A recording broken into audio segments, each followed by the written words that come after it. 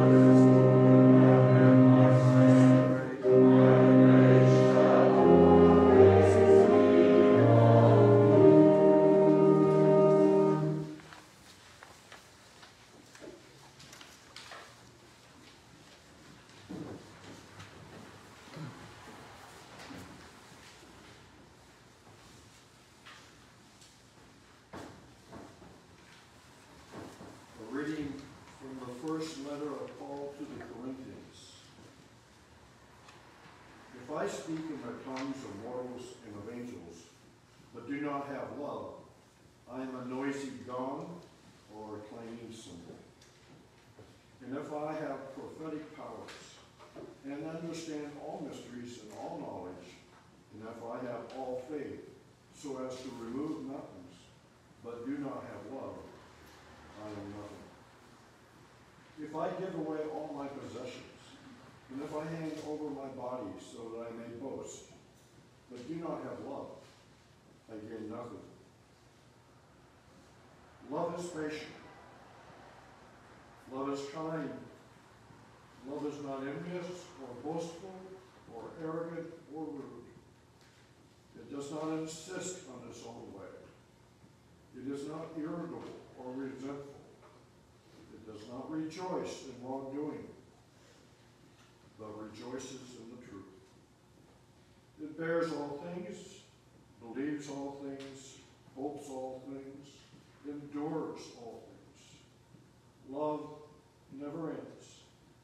But as for prophecies, they will come to an end. As for tongues, they will cease. As for knowledge, it will come to an end. For we know only in part, and we proselytize only in part. But when we, when the complete comes, the partial will come to an end. When I was a child, I spoke like a child, I thought like a child, I reasoned like a child. When I became an adult, I put an end to childish ways. For now we see in a mirror, dimly. Then we will see face to face. Now I know only part, but then I will know fully. And East and I have been fully known, but now faith, hope, and love abide, these three, and the greatest of these is love. The word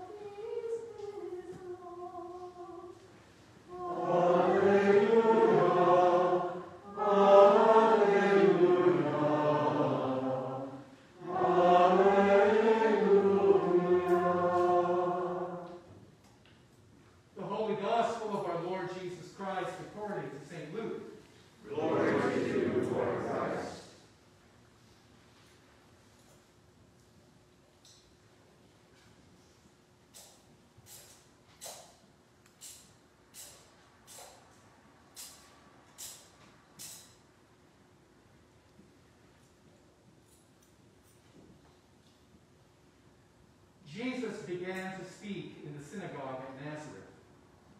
Today this scripture has been fulfilled in your hearing. All spoke well of him and were amazed at the gracious words that came from his mouth. They said, Is this not Joseph's son? He said to them, Doubtless you will quote to me this proverb, Doctor, cure yourself. And you will say, Do here also in your hometown the things that we have heard you did at Capernaum. And he said, Truly I tell you, prophet is accepted in the prophet's hometown. But the truth is, there were many widows in Israel at the time of Elijah, when the heaven was shut up three years and six months, and there was a severe famine over all the land. Yet Elijah was sent to none of them, except to a widow at Zarephath in Sidon. There were also many lepers in Israel in the time of the prophet Elisha, and none of them was cleansed except Naaman the Syrian. When they heard this, all the synagogue were filled with rage. They got up, drove him out of the town, and led him to the brow of the hill on which their town was built, so that they might hurl him off the cliff.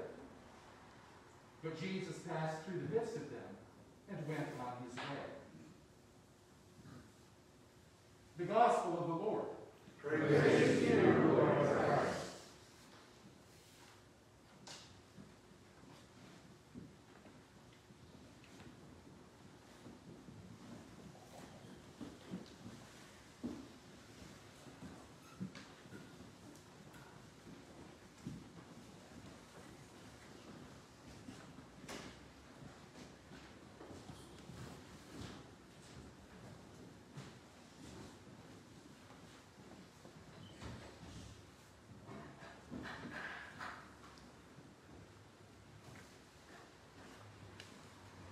In the name of the Father and Son and Holy Spirit.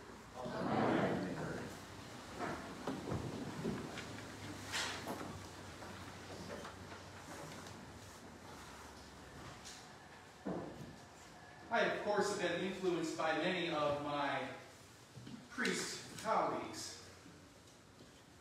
Two of them stand out as being particularly dear. Les Thomas and Siobhan Patterson. Les was the founding rector of St. Andrew's Episcopal Church in Grand Rapids, the church where I was received into this communion. Les was long since retired by the time I got to know him. He was enjoying fly fishing and enjoying retirement greatly. Siobhan was a seminary classmate of mine, the youngest in our cohort, fresh out of undergraduate college. Les died at the right and uh, proper age of 90. Siobhan died at 30 of renal disease. Youngest in our seminary cohort and the first of us to die. The only so far. Les's is advice to priests in congregations, new to congregations especially, was learn to love your people. Learn to love your people. I heard these words spoken by my friend Mike Fedowa, who was the longtime rector at St. Andrews, who preached at Les's funeral that I was blessed to attend. Learn to love your people. Siobhan, I asked to preach at my first Mass on the 25th of June, 2006. And the Gospel that day appointed was St. Mark's account of Jesus stilling the storm. Jesus was asleep in the stern of the boat, and the boat was about ready to sink. And the disciples said to him, Lord, do you not care that we are perishing? And Jesus woke up and rebuked the storm and had a bit of a sharp word to say to the disciples. That's well, it is okay. And Siobhan reminded the congregation, Siobhan was ordained priest two weeks before I was. Siobhan reminded my new congregation, St. Augustine's in Benton Harbor, that doubtless in our tenure together, in our ministry together, there would be storms. Infrequent, we hope, but there would be storms. And to remember that Jesus is with us, not to forget that, and to turn to Jesus when we think, and especially when we think we are going down, and when we think we can do everything ourselves. Remember that Jesus is with us. Learn to love your people. Remember that Jesus is with you to calm the inevitable storm. This first reading that we heard from Jeremiah often is read at ordinations, the call of Jeremiah. Who am I to be sent to proclaim God's word? I am only a boy of youth. I am inexperienced. I am fresh out of seminary. I am new to a city and a community. Who am I? And of course, God says, Don't worry about that. I send you. I will provide what you need. Often that is read at ordinations, and sometimes perhaps at celebrations of new ministry. I suspect that the gospel story that we heard is never read at celebrations of new ministry or ordinations. Because that suggests what can happen when things go sideways. They started out well. Jesus reads the word, as we heard last week from the prophet Isaiah. The Spirit of the Lord is upon me. The Lord has anointed me to preach good news to the poor, to give sight to the blind, to free the imprisoned, to proclaim the year of the Lord's favor. Jesus rolls up the scroll and sits and says, This is being fulfilled in your presence. And today's gospel picks up the story where last week left off. And at first, the people were amazed at Jesus' gracious words. And Luke's gospel is peculiar. The other gospel accounts where Jesus says a prophet's not accepted in his hometown, there's a bit of antagonism between the people. But Luke doesn't seem to give us that. There's a bit of a gap there. The people were amazed at Jesus' gracious words, a, a kind word to use. And is this not Joseph's son? Not in a sneering sort of way, but this is our own local boy made good. And yet it's Jesus who kind of pokes the finger at the people, reminding them that a prophet is not accepted in the prophet's hometown, and that God sometimes works in ways that don't favor the local crowd. Elijah went to bring relief to the widow of Zarephath rather than a proper uh, woman of his own people, and Elisha cured Naaman, the Syrian, of his leprosy rather than one of his own. And when the people are reminded of their own scriptures, of their own history, that's when things really go sideways and they are enraged with him and rush him out of town and want to throw him off the hill. But wasn't his time yet. We don't hear this passage read at celebrations of new ministry, even though it might not be a bad one to hear, because things do go off the rails from time to time. Expectations between priest and congregation often hit a point where they aren't lining up exactly. Sometimes the priest has to say hard truth, hard news to a congregation that the congregation may not want to hear. Sometimes a congregation has to speak a hard truth to a priest that a priest may not want to hear. Sometimes the congregation wants to throw the priest off the cliff. Sometimes the priest wants to say, hey, let's go on a bus trip somewhere. Drive up along Highway 1. of course, somewhere between what we heard from Jeremiah and God sending the young prophet to do unpleasant work, Jeremiah's was not a happy ministry. And Jesus having words with the people in his hometown synagogue. Somewhere in the middle of that comes St. Paul's magisterial, majestic 13th chapter that we heard today in his first letter. Love. Right? Learn to love your people, that's Thomas. With all of those attributes of what love is that St. Paul wrote about. The priest can learn to love the priest's people in those sorts of ways. And as the congregation comes to love the priest in those sorts of ways, love is patient and kind and not arrogant and not rude and seek its own way. The priest and congregation live into those words of St. Paul. Then, when those inevitable storms come, and they do, they will, and don't fear not, everything's good right now, I think. Wardens, yes? We got to order oh, good. We've got some other vestry folk here. Things are good. We're, we're early on, but but I, I, I would be a fool if I didn't say at some point in our time together, there's going to be a little bit of a rub, right? I'm happy to say that I'm learning to love my people. You are easy and gracious to love, and I am so thankful. And by extension, Kate is so thankful because it can be difficult to be a clergy spouse when there is friction in the congregation because that's where it all comes back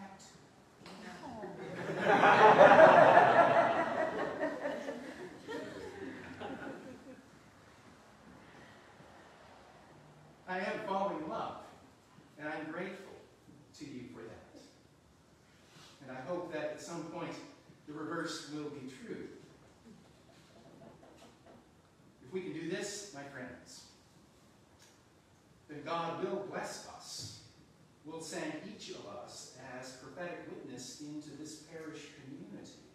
With God's word, where we don't need to worry about what we will say, God will provide as God provided for Jeremiah. It may mean that the community that we are to doesn't want to hear our word necessarily. Won't be easy.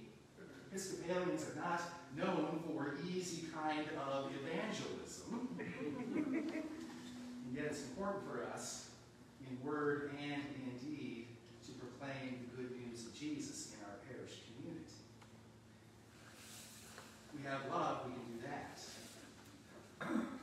And if we have love, whenever the storm might hit, will know that the one who loves us more than we can ask or imagine is with us, has been with us always, is in the boat with us. We will call on him and call on each other to weather whatever storm may occur and to get safely to the other side and continue with the ministry that God has for us. Not a bad gospel for celebration of new ministry. That'll happen somewhere down the road. Not a bad gospel the week before an annual meeting, next Sunday. Not a bad, bad gospel for us to hear anytime. In the name of the Father, the Son, and the Holy Spirit. Amen.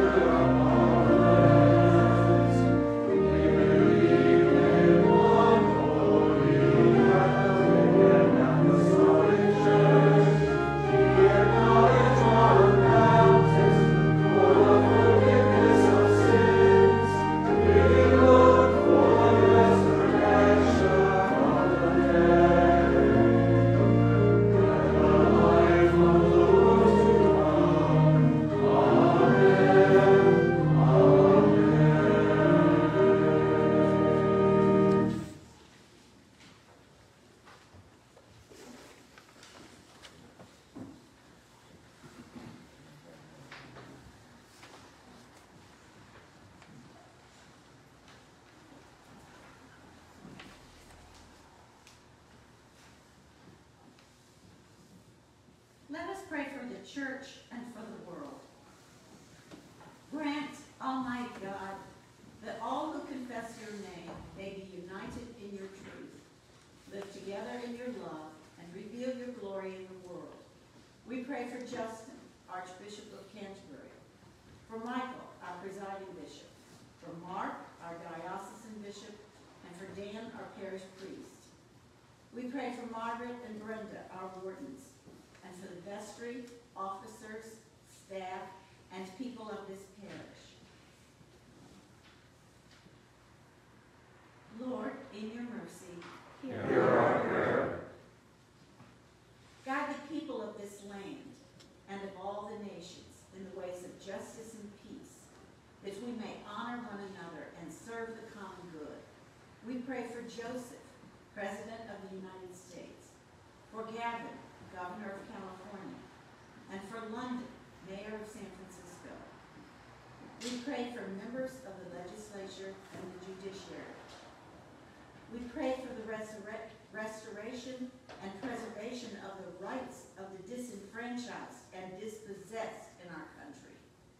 We pray for goodwill among the nations of the world and among their leaders, for the easing of tensions with Russia, for peace in Europe, and for the conversion of life necessary to recognize and dismantle systems of oppression and domination.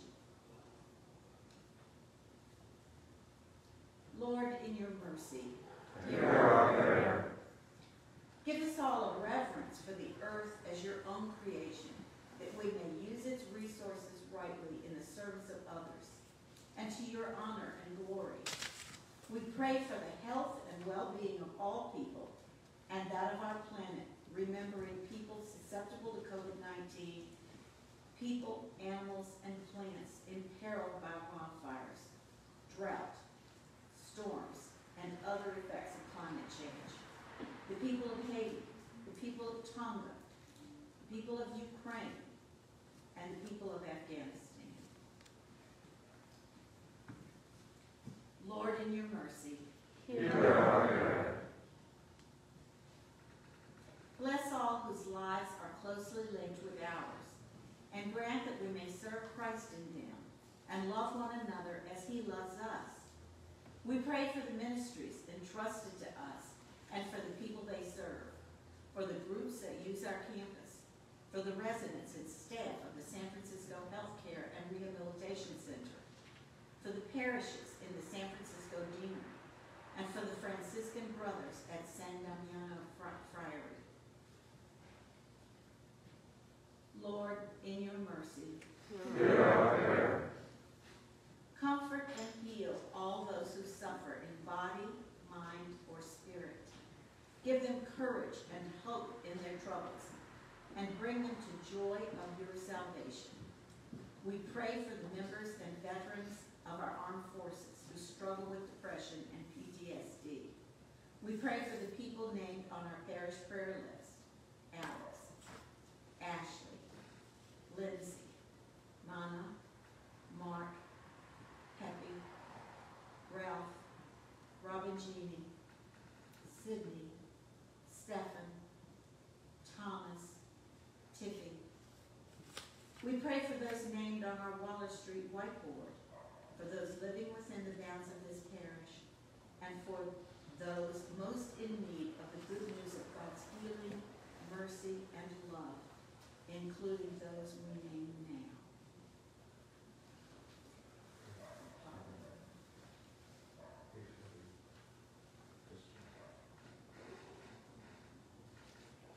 Lord, in your mercy, hear our prayer. We commend to your mercy all who have died, that your will for them may be fulfilled. We pray for people who have died from violence, neglect, or disaster. We pray for people who have died from the COVID-19 pandemic, for people who have died from overdose and suicide, and for all the bereaved who mourn. We pray for our own beloved dead, including Brenda's Uncle Ted, and those we name now.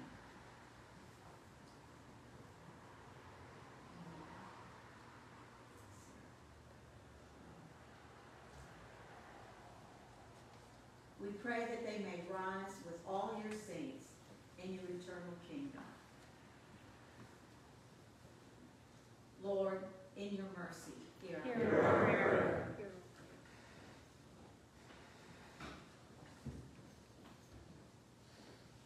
Almighty God, kindle, we pray, in every heart the true love of peace, and guide with your wisdom those who take counsel for the nations of the earth, that in tranquility your dominion may increase until the earth is filled with the knowledge of your love. Through Jesus Christ our Lord, who lives and reigns with you in the unity of the Holy Spirit, one God, now and forever. Amen.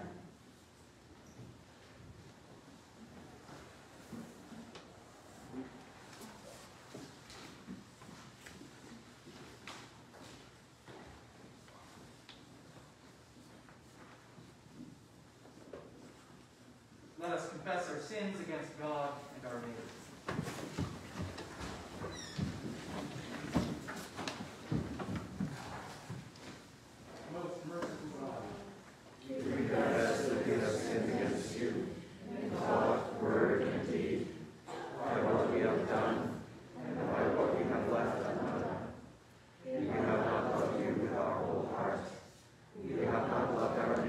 As ourselves. Truly sorry, and we humbly repent. For the sake of your Son, Jesus Christ, have mercy on us and forgive us, that we may die in your will and walk in your ways, to the glory of your name. Amen. Almighty God, have mercy on you, forgive you all your sins through our Lord Jesus Christ, strengthen you in all goodness, and by the power of the Holy Spirit, keep you in eternal life. Amen. The peace of the Lord be always with you. And also with you.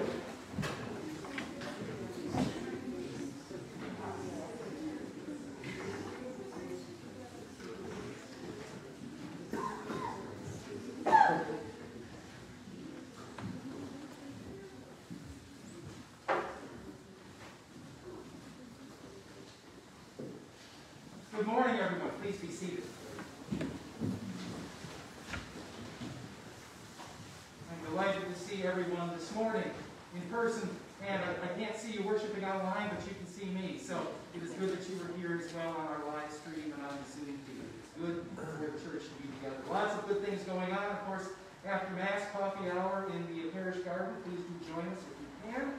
Next Sunday, as mentioned, parish annual meeting. Uh, after 10 o'clock Mass, it will be in person in the parish hall, and it will be on Zoom uh, for those who are, are with us connected by Zoom. So do, please do plan to attend that. Lots to celebrate, lots to, to do in, uh, in what promises to be a brief and joyful meeting. So do come to that. Um, we are beginning the 8 o'clock, the early Sunday Mass, beginning the following Sunday, Sunday the 13th of February. So if you are uh, an early riser and that is your preference, I know that you can come to that not next week, but the Sunday afterward. We are beginning a monthly Requiem Mass for to remember uh, our beloved dead whose, whose death anniversary is, is that particular month, as well as to remember those who have died uh, recently, public figures, those of other natural disasters and such. There is a binder on the back table um, with uh, 12 months of the year. If you wish uh, your loved one remembered, just print their name neatly on whatever month uh, their death anniversary is, and we will be sure to name them. Those services will be uh, the first Monday of the month, the normal 6 o'clock Monday evening Mass time. Uh, last week we began, and we will continue with birthday and anniversary blessings at this point, and also anointing and prayers of healing during the postlude. So, if you wish uh, prayers of healing and anointing, um, I will be right here. Come forward as you do for communion uh, during the postlude. And if you have a birthday or an anniversary this coming week or a recent vintage, make yourself known and come forward. Is anybody celebrating these days? No. All right. Well, remember that when it's your turn, okay? Anything else, ladies, that comes to mind? Uh, when it's time for Holy Communion, uh, if you are new to us, please do follow the instructions of the ushers. Basically, come forward um, one at a time, keep a bit of distance between you and folk from other households. There is hand sanitizer up front here, also some in the back for folk, uh, for choir folk in the back to use. I'll be standing here, simply extend your hand. I will put to the body of Christ a consecrated wafer uh, on your palm. Take it back with you to your pew, remove your mask to, uh, to consume, and that will be good. If you wish to come forward uh, to receive a blessing and not to receive communion, by all means do that. Simply cross yourself like this, and I will know to extend a blessing to you rather than administer the sacrament. My friends, walk in love as Christ loved us and gave himself for us, in offering the sacrifice to God.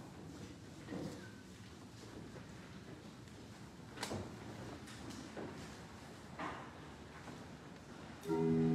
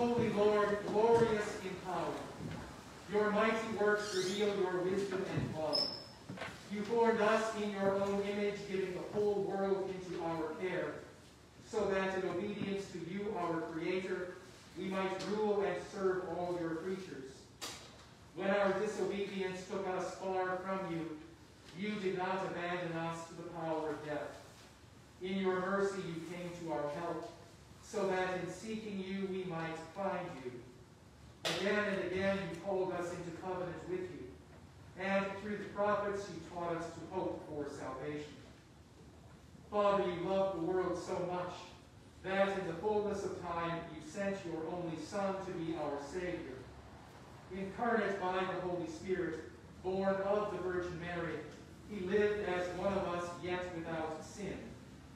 To the poor, he proclaimed the good news of salvation. To prisoners, freedom. To the sorrowful, joy. To fulfill your purpose, he gave himself up to death, and rising from the grave, destroyed death, and made the whole creation new.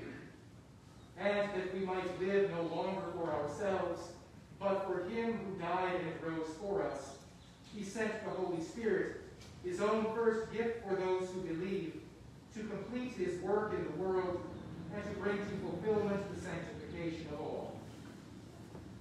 When the hour had come for him to be glorified by you, his heavenly Father, having loved his own who were in the world, he loved them to the end. At supper with them, he took bread. And when he had given thanks to you, he broke it and gave it to his disciples and said, Take, eat. This is my body which is given for you. Do this for the remembrance of me. After supper, he took the cup of wine. And when he had given thanks, he gave it to them and said, Drink this, all of you. This is my blood of the new covenant, which is shed for you and for many for the forgiveness of sins. Whenever you drink it, do this for the remembrance of me.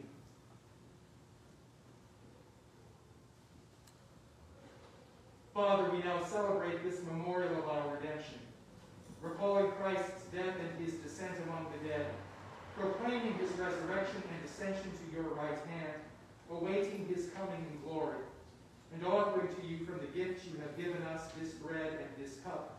We praise you and we bless you.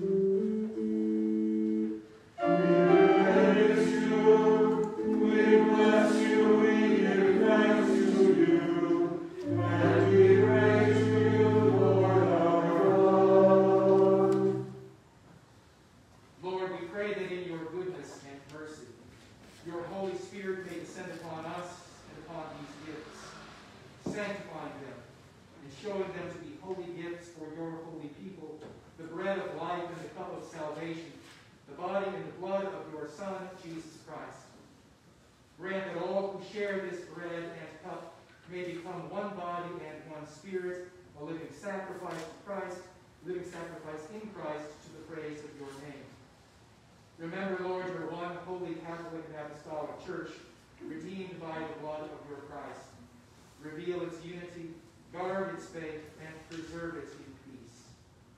And grant that we may find our inheritance with the Blessed Virgin Mary, with matriarchs, patriarchs, prophets, apostles, martyrs, Michael the Archangel, and all the saints who have found favor with you in ages past. We praise you in union with them and give you glory through your Son, Jesus Christ our Lord.